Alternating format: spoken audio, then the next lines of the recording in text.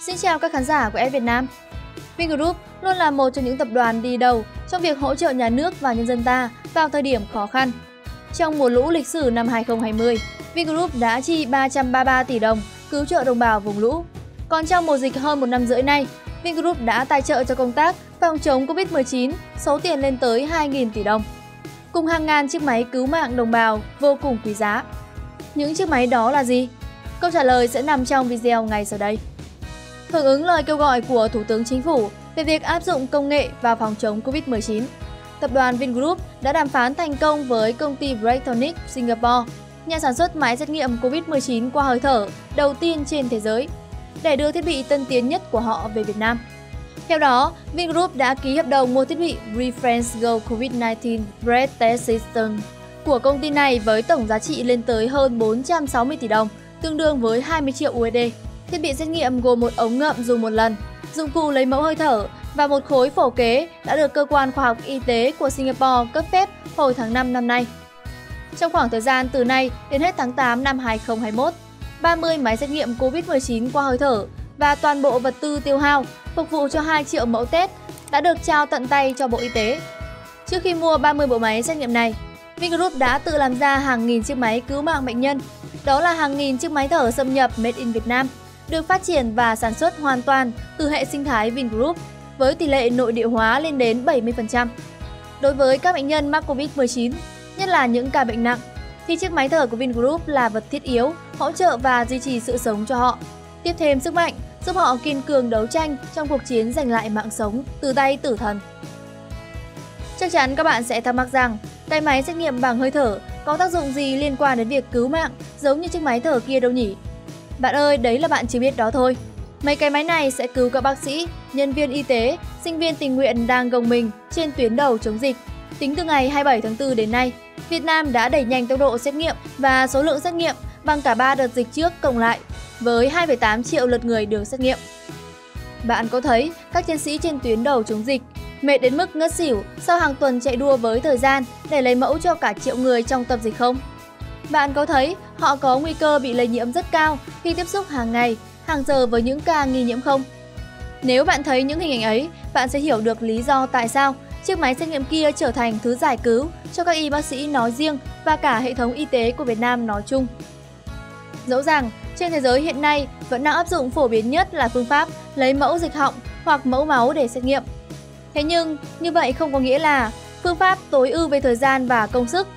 Cách làm này tốn thời gian lấy mẫu và cũng mất ít nhất 15 phút mới cho kết quả. Ngoài ra, nó còn tiềm ẩn rủi ro không hề nhỏ cho các nhân viên y tế tham gia lấy mẫu xét nghiệm. Chưa kể đến sự vất vả trong quá trình lấy mẫu khiến nhiều chiến sĩ trên tuyến đầu chống dịch kiệt sức. Phương pháp xét nghiệm bằng hơi thở sẽ có ưu điểm vượt trội về tất cả các mặt so với phương pháp xét nghiệm thông thường bằng dịch mũi họng hoặc lấy máu. Tiến sĩ Jia Junan, giám đốc điều hành của Rectonic cho biết, máy xét nghiệm qua hơi thở của chúng tôi sử dụng hình thức không xâm lấn. Người dùng chỉ cần thở ra bình thường và ống ngậm dùng một lần được cung cấp sẵn. Do đó, sẽ không có sự khó chịu nào. Không có khả năng lây nhiễm chéo vì ống ngậm một lần có van một chiều để ngăn người dùng hít vào. Nó cũng ngăn nước bọt xâm nhập vào thiết bị lấy mẫu hơi thở. Cách sử dụng máy cũng rất đơn giản. Người tham gia xét nghiệm chỉ cần thổi vào miệng van một chiều, dùng một lần được kết nối với dụng cụ lấy mẫu hơi thở. Không khí thu được sẽ được đưa vào khối phổ kế và được phân tích bằng thuật toán của Brechtonic. Thuật toán phần mềm độc quyền, phân tích các dấu ấn sinh học này sẽ trả về kết quả xét nghiệm trong vòng chưa đầy một phút. Hệ thống hoạt động bằng cách phân tích các hợp chất hữu cơ dễ bay hơi trong hơi thở để xác định những hợp chất mà thuật toán có thể nhận ra là có liên quan đến virus SARS-CoV-2.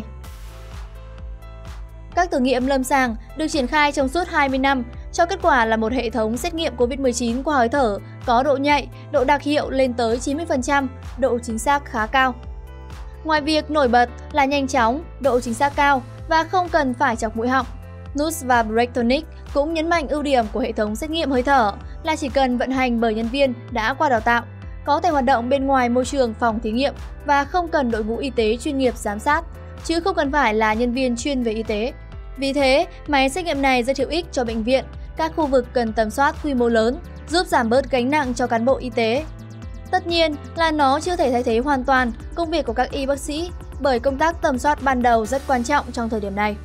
Bộ trưởng Bộ Y tế khẳng định Khi thực hiện xét nghiệm trên máy này, nếu kết quả cho ra dương tính, các y bác sĩ sẽ tiếp tục lấy mẫu để thực hiện xét nghiệm bằng phương pháp real-time RT-PCR để kết quả cho ra chuẩn xác nhất.